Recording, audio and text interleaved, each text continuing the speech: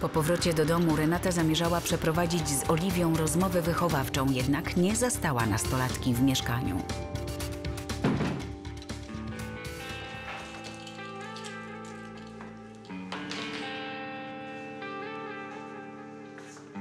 Co tak długo? Gdzie byłaś? Pokręciłam się trochę z dziewczynami po mieście. A co tam masz? Ciuchy? No, Kupiłaś? no przecież nie ukradłam. Skąd miałaś pieniądze? Tata dał mi kieszonkowe. 283 złote?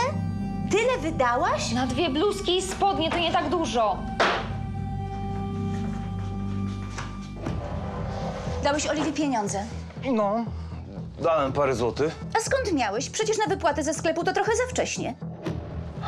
Zagrałem jakąś małą rulkę dwa miesiące temu i teraz przysłali pieniądze. I naprawdę nie miałeś lepszego pomysłu, jak je wydać?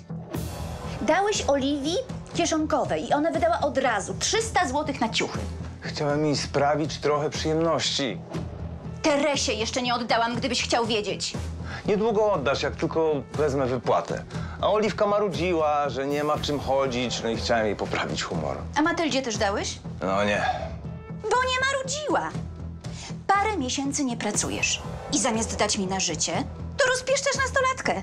I jeszcze dajesz jednej, a zapominasz o drugiej. No Matyldzie też dam, a całą wypłatę ze sklepu przekażę tylko tobie, co do złotówki. Marek, ja cię nie poznaję. I to mnie bardzo irytuje. To ja każdą złotówkę oglądam z dwóch stron, a on lekką ręką daje Oliwii pieniądze na ciuchy? Ja rozumiem, że oni trzymają sztamę i wygłupiają się razem. Ale to nie powód, żeby pieniądze, które powinny iść na życie, dawał jej. W dodatku, jak Matylda się dowie, to będzie jej przykro.